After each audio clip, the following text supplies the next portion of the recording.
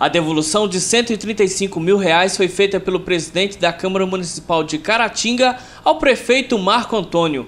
O vereador afirmou que o recurso seria destinado para o pagamento de contas do Legislativo e investido na construção da sede da Câmara de Caratinga.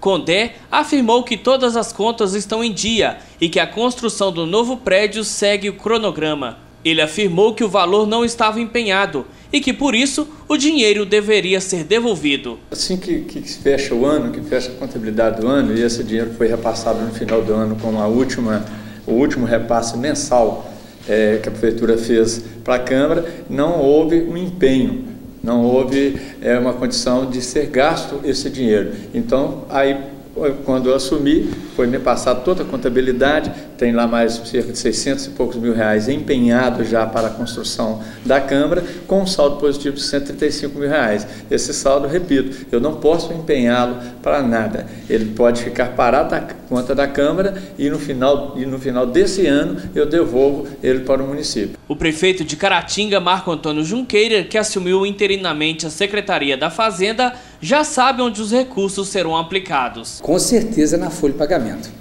E que tem sido grande problema de administração, não só do nosso município, mas de todos os municípios. A folha de pagamento hoje, com os aumentos que nós estamos tendo aí, né, do salário mínimo, do piso da educação, e realmente você soma, no mês passado foram dois salários pagos, desse terceiro, então você começa o ano, a obrigação nossa primeira é quitar os salários. Dizer, vai ser somado o pagamento do nosso salário, que hoje está em torno de 5 milhões e 400 mil reais a folha de Caratinga. A prefeitura possui 2.825 funcionários.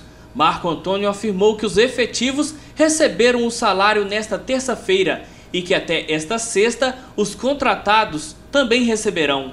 A folha de pagamento do município é de 5 milhões e 400 mil reais mensais. Os efetivos receberam hoje, né?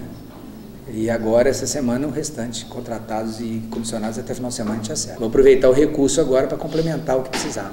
Porque esse mês atrasou, o Fundeb não foi podido ser utilizado, é, o dinheiro da saúde, o PAB, não chegou ainda. Então, todos os repasses do governo que pode ser usado em pagamento vão chegar agora a partir do dia 15. Então, ficou muito apertado realmente para pagar tudo.